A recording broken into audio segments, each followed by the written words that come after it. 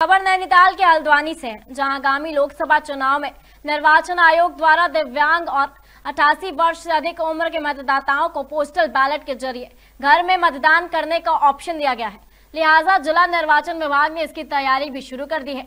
इस विषय में हल्द्वानी नगर निगम सभागार में एआरओ हल्द्वानी ने सभी बीएलओ की बैठक लेकर जानकारी देते हुए बताया कि इस बार पूरे देश में व्यवस्था पहली बार लागू होने जा रही है। जो पिछहत्तर वर्ष से ज़्यादा उम्र के मतदाता हैं या जो 40 फ़ीसदी से ज़्यादा विकलांग वाले वोटर हैं, उनके पास फॉर्म से 12 डी पहुँचाया जाएगा। अगर वे मतदान केंद्र पर नहीं जाना चाहते हैं तो उनके घर जाकर उनका वोट पंजीकृत किया जाएगा। हल्द्वानी से दीपक अधिकारी की रिपोर्ट।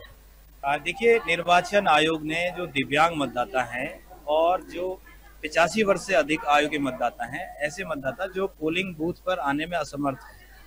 उनको वोटर लिस्ट में हमने आइडेंटिफाइड भी किया है। बी को ये इसलिए बुलाया गया था कि उनके लिए एक स्पेशल व्यवस्था की गई है ऐसे मतदाताओं को अपना मत का उपयोग करने के लिए, मताधिकार का प्रयोग करने के लिए कि वो पोस्टल बैलेट के माध्यम से मत दे सकते हैं। तो बी को प्री प्रिंटेड उनको फॉर्म ट्वेल्व डी दिए जा रहे हैं, जिस पर उन मतदाताओं को आवेदन करना है। और ये काम हमें चार से पाँच दिन में उनको वितरित करके खत्म करना है और साथ ही ऐसे मतदाताओं से जो अक्षम है बूथ पे आने वाले, पिचासी साल से अधिक और दिव्यांग मतदाता, उनसे आवेदन लेके उनको पोस्टल बैलेट जारी करना है। तो इसी प्रक्रिया के संबंध में आज हल्द्वानी विधानसभा के जो हमारे बूथ लेवल अधिकारी हैं, उनको यहाँ पर ट्रेनिंग के लिए भी बुलाया गया था और सामग्री